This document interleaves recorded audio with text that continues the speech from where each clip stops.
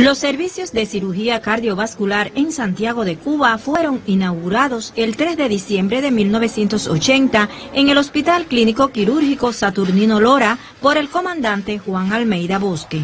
Cardiocentro se inicia en enero del año 87, específicamente el día 12 de enero, en que se operan dos casos seguidos y marca el inicio o la inauguración del cardiocentro.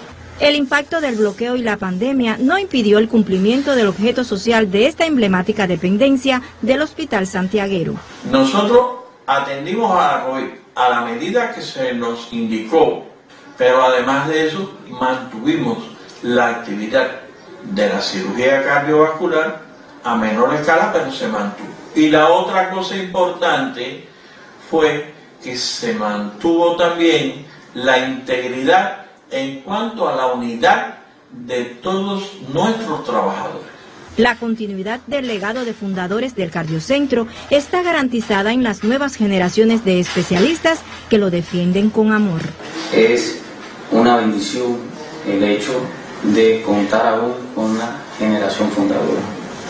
Y estamos todos comprometidos con darle continuidad al trabajo tan encomiable han hecho ellos durante estos 35 años de fundado el centro. El Cardiocentro de Santiago de Cuba se distingue como centro destacado y de excelencia del país. Tiene entre sus retos lograr ser un colectivo vanguardia nacional siempre al servicio de la salud de la población. Me siento aquí prácticamente como si estuviera en casa. Y esperamos, bueno, ya dentro de un tiempo posible que yo designe, pues la recuperación nuestra y salir bien, pero aquí el servicio es maravilloso.